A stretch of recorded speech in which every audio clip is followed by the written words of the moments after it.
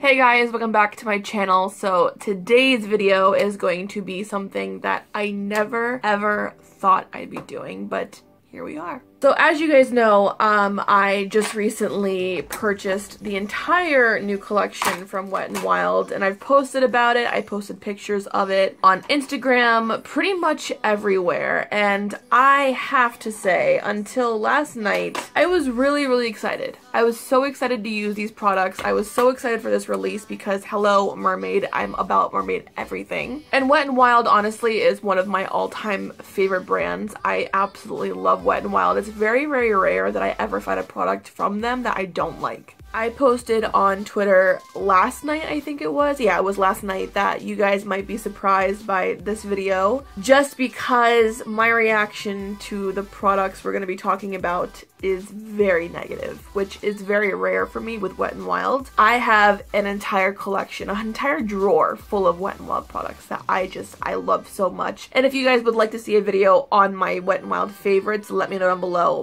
But in today's video, this is definitely going to be a Wet n Wild miss. Like the biggest miss, like the biggest L I've ever seen a brand take ever. Now, obviously, everyone's going to have different opinions and different viewpoints on different products. I understand that, but normally when I pick up products from the drugstore, especially, I of course like to go back before I purchase them and watch reviews from the influencers just to see what these people say about things. And the majority of the videos that I watched from the influencers who did post reviews and swatch videos of this box were predominantly, of course, positive. And I took some notes on what people were saying versus what I had experienced with these products. I will share those notes with you guys and I will explain thoroughly as to why I feel the way I feel about all these products. I of course do not want you guys to think that my review is the end all be all by any means. I don't feel that's that's the way things are. This is just the way I feel about these products. Now whether or not you believe me or believe them is up to you. Obviously different people have different reactions to certain things and everyone everyone's gonna have a different reaction to makeup and how it applies to their face. So please do not think that my opinion should be the deciding factor on whether or not you purchase this these products, this entire collection if you choose to. Not everything is a fucking loss in this box. There are two products that I actually really do like. But like I said, I will go more in depth with that in the video itself. So without further ado, let's just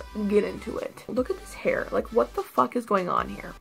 But anyways, uh, so this is the Midnight Mermaid limited edition collection box from Wet n Wild. This retailed for $34, I'm pretty sure. As far as I know, it is still available online and in-store actually at Walgreens. As far as anywhere else, I went to Rite Aid last night and did not see it in Rite Aid. As far as CVS, I can't speak for CVS, but I do know that Walgreens, for the most part, usually is the first drugstore to get the Wet n Wild limited edition products. Number one thing that I really do like about this is the packaging. I'm loving the holographic look that it has. I've actually used the Unicorn Glow box. The back of it is full holographic and I've been using it on my Instagram as like a background for different product shoots. So I love, love, love, love the packaging. This is what you get in the box. As you can see, you get a lot of product. You get four liquid eyeshadows, four lippies, three eyeliners, and then of course you get the big highlighter bar right down here, which I, I really do like that one, but we'll get to that in a second. So I guess the first place we can start with as far as putting this on our face is going to of course be the eyeshadows. Now because we're going to be using Wet n Wild eyeshadows, I wanted to go through my collection and of course use Wet n Wild eyeshadows. Now unfortunately two of these three palettes are not available anymore. This one is actually a very rare palette. They did away with it officially last year sometime. This is the Blue Had Me at Hello palette. I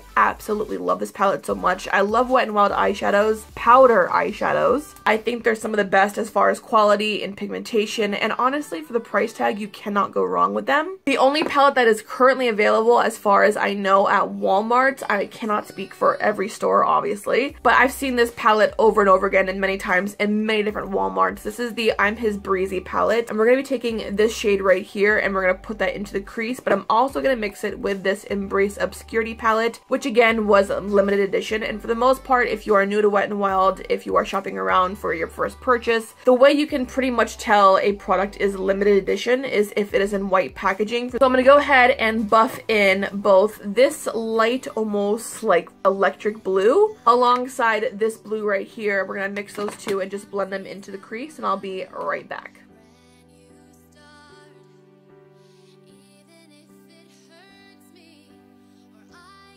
Into the blue had me at hello palette and pick up this royal deep like jewel tone blue. I love this color so much. I'm using a more precise fluffy brush to blend that into the crease area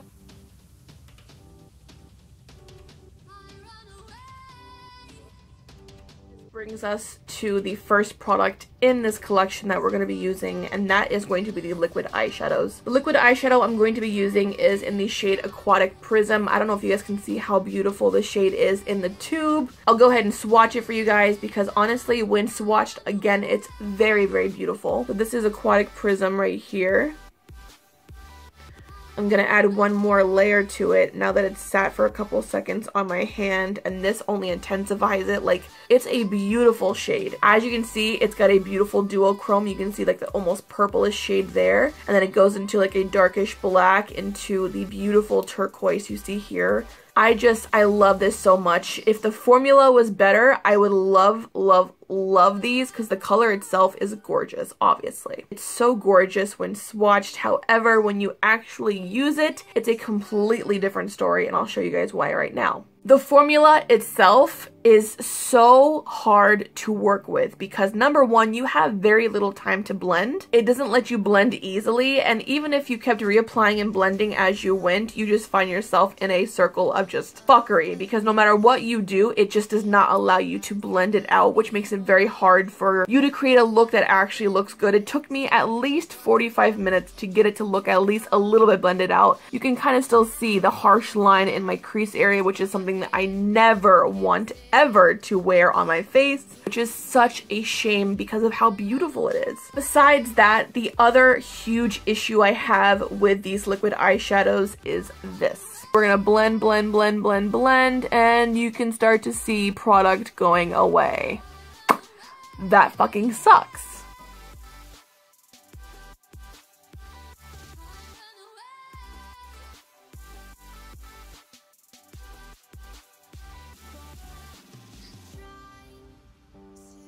As you can see, you're watching this brush scrape it off. So it's definitely the brush and not me closing and opening my eyes. So I'm not sure if it was because I was using a synthetic brush or if that even makes a difference. I don't really think it's supposed to because I've never had problems blending out gelée formulas, liquid formulas, whatever the case may be as far as like formulas that are not powder. I always prefer to use synthetic brushes because they're made for products like that. We're to go ahead and just apply this to the lid. Like I said, you're to have to let it set for a couple of seconds. It does not take very long at all. Some people suggested kind of like flick your wrist to kind of create a kind of a blending effect with this shadow, but that does nothing but create more messes for you. So I'm just gonna stick to the one layer because with one layer, you've got full pigment. It's fucking beautiful and it's such a shame it does not work well with other shadows because the one thing I would love to do is create a full blue look like I have today and have it look good, but I want it to be blended out and smoky and just so like beautiful, but it's impossible to create it with these shadows. Now beyond this just being a mess because it doesn't stick to your lid when you're blending in other shadows to it to use in conjunction with these shadows, it also creates a problem because as you're blending you're of course flaking away all the eyeshadow and that can create a mess on your actual foundation. So if I were you I would do your eyeshadow first in conjunction with these eyeshadows and then do your face just because you're gonna have a lot of fallout. Now because I don't want to be a shady bitch and only show you the one shadow, I'm going to go ahead and swatch, do live swatches of the other ones. This next one is in the shade Lara's Necklace. It's a beautiful green. We'll put this one here. There's the first layer of it. As you can see, once again, very, very pretty. This next one is like a blackish, brownish gold color. It's very pretty. It's called Mysterious Nights. We'll put this one right here. It looks kind of similar to Laura's necklace, but this one definitely has more of the brownish taupey color to it. And the last one we have is more of the purple and gold. This one is in Moonlight Majesty. We'll put her right here. So the next thing I did was my eyeliner. However, I am not going to be using the eyeliners in this box because I feel like they really, really went the cheap route with these brushes. The collection comes with three different eyeliners, and I have to say, the color selection is, I mean, aside from these two, the gray doesn't make any sense. I would have gone with a black or like a really shimmery black, you know what I mean, to kind of go with the whole glittery thing we've got going on with this collection. I don't understand why the gray was necessary, but it is what it is. Right off the bat, I knew I was not going to like these because the brush itself is super flimsy. These I thought were going to be the nice felt tip liners because the Mega Liner line actually has two different brush types. You have the felt tip and these. These are the shitty ones. Unless you are somebody who is very, very experienced with very flimsy brushes and you can create the most perfect cat eye, like sharp ass wing with little to no effort using these brushes, these are not going to be good for you. And I have to tell you right now, I really had high hopes they would have used the felt tip option because the felt tip options are a lot easier to use, they're easier to work with, and I feel like they gather a lot more product and they keep the product in it a lot longer. That way you're only using like one pump of this product as opposed to using like three or four different dips into it. So like I said, I'm gonna go first with one big dip in. I'm not gonna wipe it. I'm having trouble connecting to the internet. Bitch, shut up. So I'm going to go into this product with one dip. As you can see, it is covered. Once again, this is Trident's Shimmer, the silver or metal option or gray option. One right here. So this is what it looks like blended out. As you can see, it's very, very streaky. There really isn't pigmentation to it. The next one is Sea Dreams. It is a beautiful color, blue. There's the same brush. Put this one right here. And we'll blend her out a little bit so you guys can see. The last one is Sea Symmetry, and it is this like teal green color. We'll put this one right here.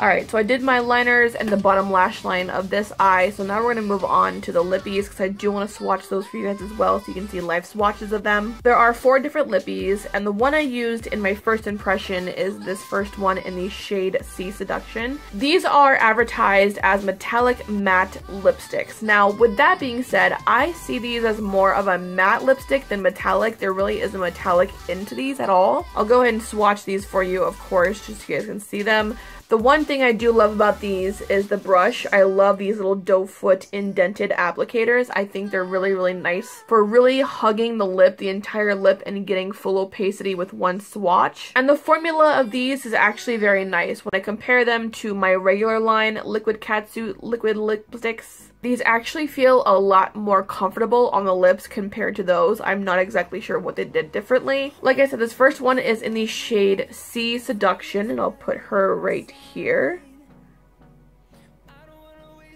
As you can see, these are beautifully pigmented with one swatch. The next one is in the shade Siren's Jewel, and it's this beautiful dark forest metallic green.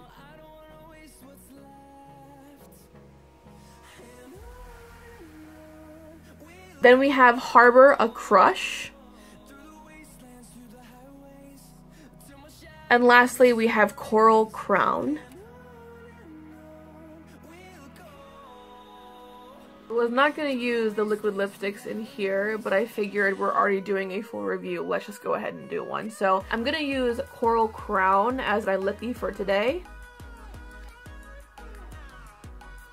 Now on the lips, these actually feel very nice. Like I said earlier, these feel a lot more creamier, a lot more comfortable on the lips, not drying whatsoever as far as I've felt as of right now. And I'm actually, I do like them. Let's go into the highlight bar itself since I really have not used this yet at all actually. I pretty much didn't even touch it. I'm gonna take my highlighting brush, this is the one I use every day, and we're gonna just slightly pick up some product like so. And we're gonna go ahead and just pop this